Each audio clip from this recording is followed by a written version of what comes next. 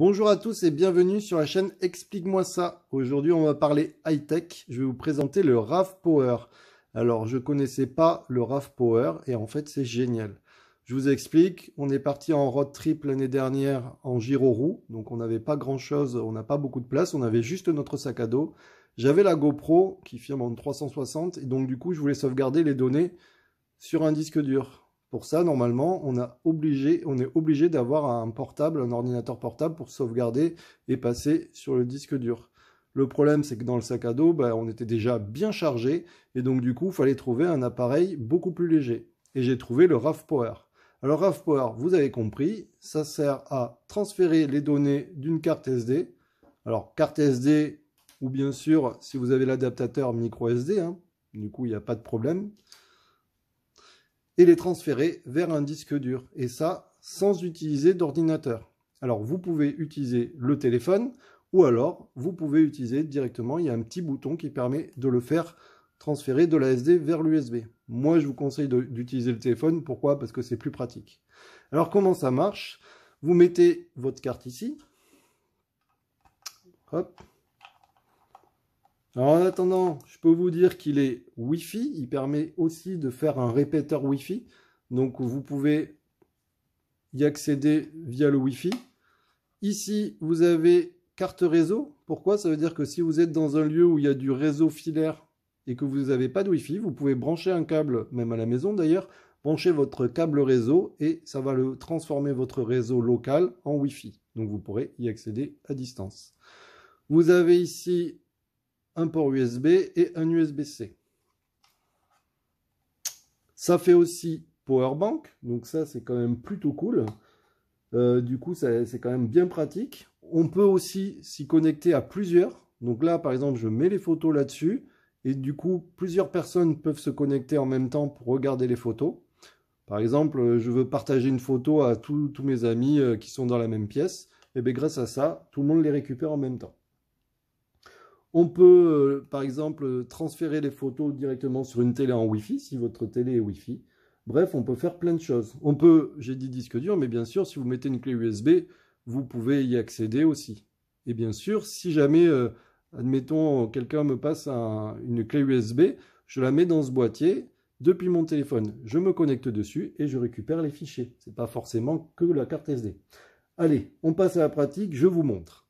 Alors, du coup, je branche mon disque dur. Tac, d'accord. Alors, je le reste appuyé pour l'allumer. Là, il s'allume.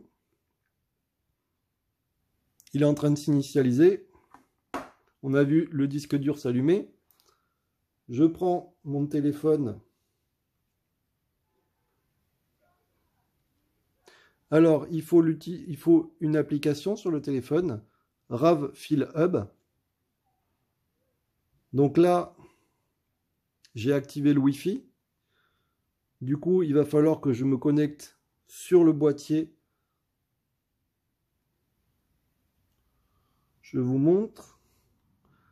Sur le boîtier, c'est mon RAV Fil Hub, parce que là, j'étais connecté chez moi. Donc, il faut bien que je choisisse mon boîtier. Il me dit, est-ce que vous voulez vous connecter? Oui. Bien sûr, j'ai mis la clé, ainsi de suite. Hein. Ça y est, c'est connecté. Je reviens sur mon application. Et là, magie. Vous voyez ce qu'il fait? Il voit mon disque dur. Donc là, il arrive à lire mon disque dur. Et il me dit qu'il arrive, qu'il a vu une carte SD. Alors, il y a des options pour sauvegarder directement les photos, voir les vidéos, les musiques, ainsi de suite. Moi, je vous montre juste comment sauvegarder les données. On va à l'essentiel.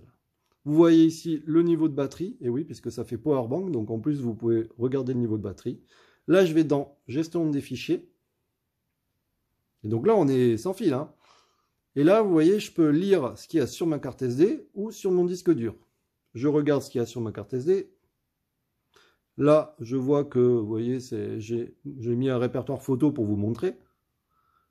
Et là, je vois les photos qui sont là, donc sur ma carte SD. Je peux cliquer il y a même un système, vous voyez, de diaporama. Donc je peux cliquer et ça va changer tout seul. Si j'ai bien appuyé au bon endroit, peut-être pas. Ah voilà, ça y est, je l'ai lancé, vous voyez, il y a la petite... Euh, hop, ça bascule tout seul. Donc là, par exemple, si je l'avais, je pourrais l'envoyer sur une télé et le gérer d'ici.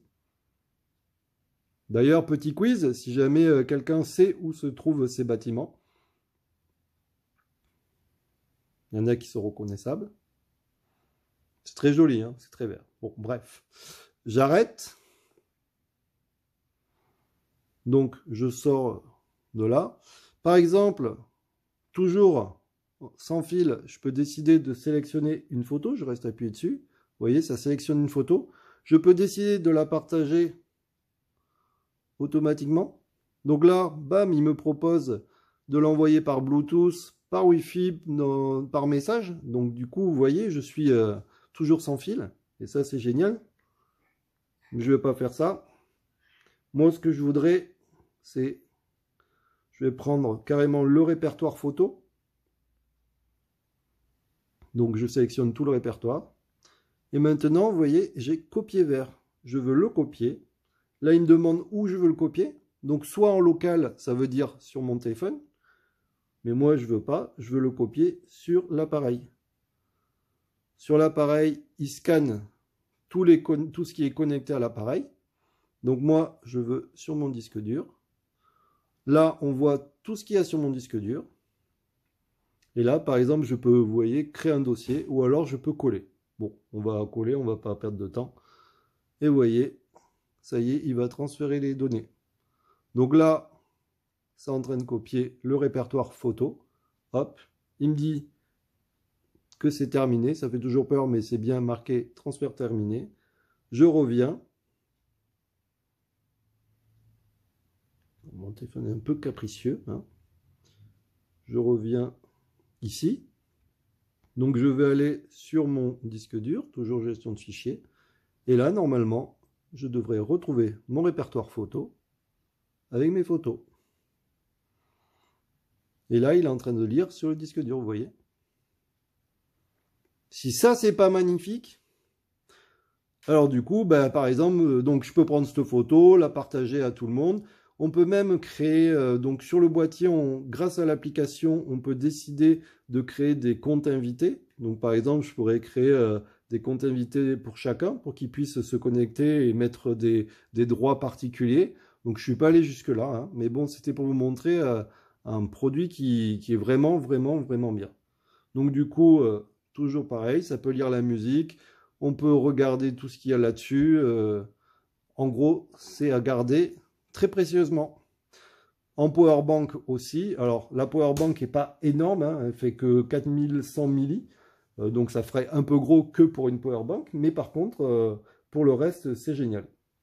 Du coup, euh, le prix, eh bien, le prix est de 50 euros à peu près sur, par exemple, Amazon.